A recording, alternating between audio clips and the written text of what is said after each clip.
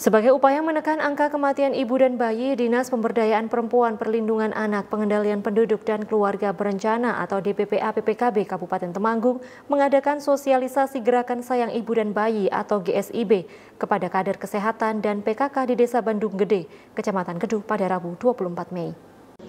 Bertempat di Balai Desa Bandung Gede, Kecamatan Kedu, Bidang Pemberdayaan Perempuan, Dinas Pemberdayaan Perempuan Perlindungan Anak dan Keluarga Perencana Kabupaten Temanggung melaksanakan kegiatan sosialisasi Gerakan Sayang Ibu dan Bayi atau GSIB sebagai upaya menekan angka kematian ibu dan bayi di Kabupaten Temanggung. GSI merupakan gerakan yang dilakukan oleh masyarakat bekerja sama dengan pemerintah untuk meningkatkan kualitas hidup perempuan melalui kegiatan yang ditujukan untuk mengurangi angka kematian ibu karena hamil, bersalin, nifas, dan juga bayi. Selain itu, GSI bertujuan untuk lebih meningkatkan pengetahuan, kesadaran, dan kepedulian dalam upaya interaktif dan sinergis, di mana kesehatan ibu dan anak merupakan salah satu wujud hak asasi perempuan dan juga anak.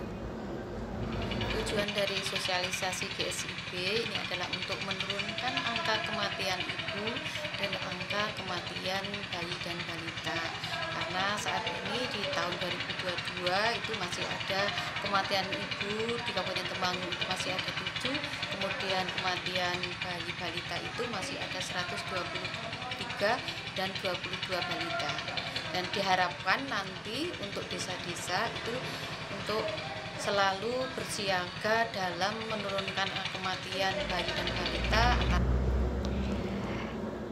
Kegiatan ini dibuka langsung melalui sambutan oleh Sekretaris Desa Bandung Gede, didampingi Kepala Bidang Pemberdayaan Perempuan serta narasumber dalam kegiatan sosialisasi ini.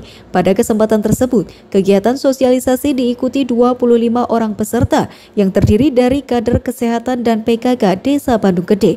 Sosialisasi diisi pemateri dari bidang pemberdayaan perempuan DPPPA PPKB Kabupaten Temanggung. Sementara itu, pemerintah Desa Bandung Gede juga menyambut baik kegiatan yang merupakan upaya untuk menekan angka kematian ibu dan bayi ini.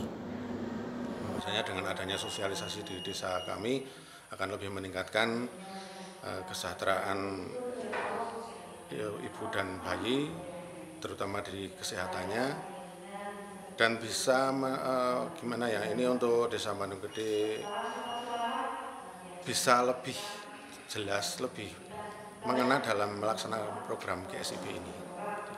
Harapannya gimana Pak? Harapannya dengan adanya GSIB ini, apa sosialisasi GSIB ini di Desa Bandung Gede eh, tingkat kesehatan ibu dan bayi lebih meningkat dan Ke depan diharapkan semua desa untuk menganggarkan kegiatan gerakan sayang ibu sebagai upaya untuk menekan angka kematian ibu dan bayi di Kabupaten Temanggung. Senang melaporkan untuk Temanggung TV.